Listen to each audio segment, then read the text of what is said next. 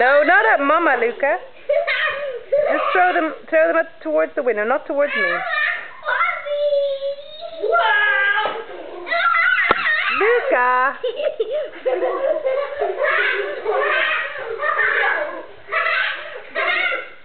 Little breath.